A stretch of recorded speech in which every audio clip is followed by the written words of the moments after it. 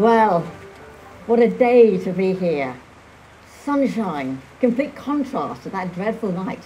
Do you remember? The waves were high, and but for it was a, a lone policeman, I think, walking along who recognised and could see the waves and could see the beginning of the cliffs going, of the risk that people faced, those properties that then had to be evacuated immediately.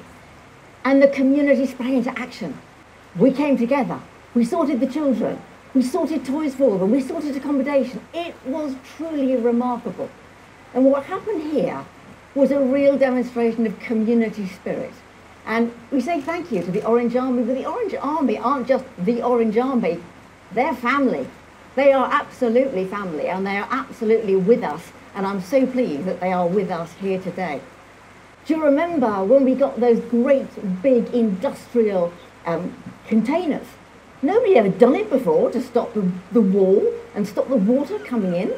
That was an incredible idea, never been done before. And it worked, phenomenal.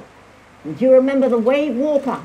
That was phenomenal too, and it had the tourists here. And I think when people come now to Dawlish, it's not just because we're a great place to come for a holiday, but we've got history, we've got form, and we've got true community spirit.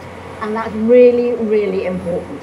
And I remember that Wednesday morning, I went to Mr. Speaker and I said, Mr. Speaker, I need, it's PMQ, I need to ask the government for the money. We have to find this war, we have to find the money. He said yes, all good, gets credit for that. And credit then where credit's due. David Cameron, the Prime Minister of the day, said, Anne-Marie, the government will do whatever it takes. And the government has done whatever it takes. So for me, it's a heartfelt thank you, not just to those of us who in officialdom, not just to the, the Orange Army, but to the community because you've lived with actually quite a lot of disruption over the years and you haven't complained and you have made the Orange Army and everybody else welcome.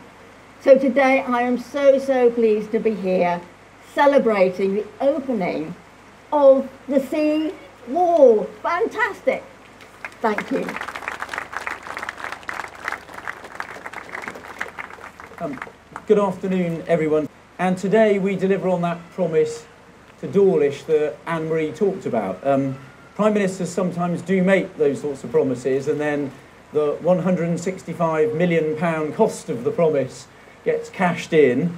Um, but that promise, as she said, was made in the aftermath of that 2014 storm that ripped through the then seawall and left the railway suspended in midair. And as we were coming in, uh, and I was in the cab, uh, I was shown the exact piece of railway that was the bit that was left hanging back in 2014. and it exposed the vulnerability of some of our coastal railway to the elements and resulted in most of Devon and Cornwall being disconnected from the rest of the network, and only because of the swift and brave response of 300 network rail engineers, uh, often in the face of terrible weather conditions, were we able to minimise the disruption and open the line eight weeks later. But that promise that Anne-Marie extracted from the then Prime Minister was clear, that we would build a more resilient railway uh, here in the southwest and not allow people who live in this area and further afield to suffer that, suffer that level of disruption. So today I'm delighted to formally open, and after we've heard from these youngsters here, we'll do the formal unveiling, but formally open the second phase of the Seawall project, which is an £80 million investment that will boost the resilience and reliability of this railway for decades to come. A completely new pedestrian footbridge across the colonnades and an enhanced stilling basin at the mouth of Dawlish Water, which is part of that £165 million Southwest Rail Resilience Programme that is also going to see further protection delivered on the line further up. And while the wall offers 21st century protection and full accessibility, it rightly draws on the town's history with reclaimed stone from the old wall repurposed for benches and outlines of old seating areas still visible.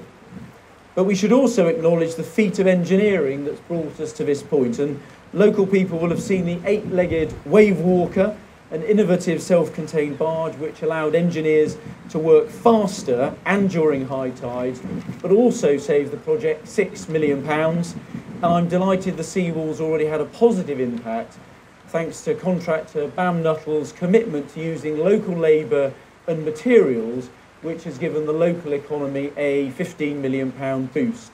And we've seen service delays along the line noticeably reduce since the wall was built. And that's really important to me when you're the Secretary of State for Transport. If there are delays to services, people tell you about them, whether it's directly from colleagues in Parliament or on social media. I quite frequently get social media messages about railway reliability, so a more uh, reliable railway is really important to me.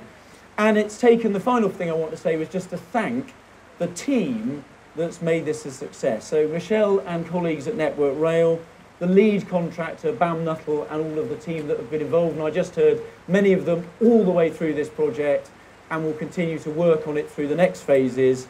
Uh, Devon County Council, led by Andrea and her team, Teignbridge District Council, and I said again, thanks to Anne Marie, who's been this project's biggest champion. And those of you for whom she's your Member of Parliament, she is tenacious at raising her concerns in Parliament, whether on the floor of the House or in private. So all of that work means that that's why we're here today. So thank you for your support and patience to everybody that's listening in delivering a better a more, more resilient railway, one that will create more jobs, attract more investment and strengthen the economy for this community and in the wider region. So a really big thank you from me to all of you who have been able to make this take place. And just at that moment, a train goes past to demonstrate the point of this project. Thank you all very much.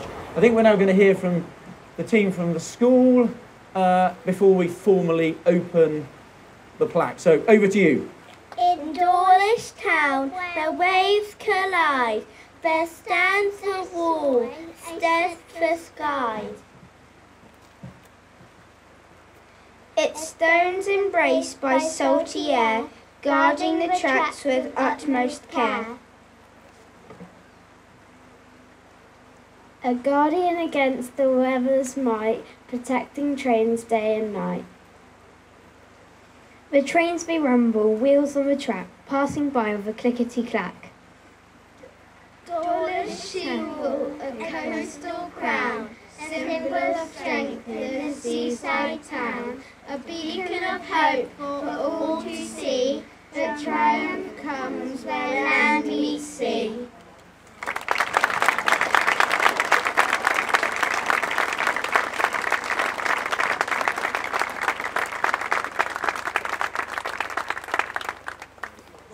see a very, very proud teacher there who's sorting out another bit of fantastic teamwork from Westcliff Primary Academy. So well done. Right, this is the bit where it all goes horribly wrong. Hopefully, who's going to help me?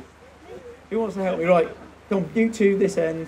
Right, we are going to formally open the seawall. Right, let's give it a tug. There we go. Well done. Bravo, everyone that's helped to make it happen.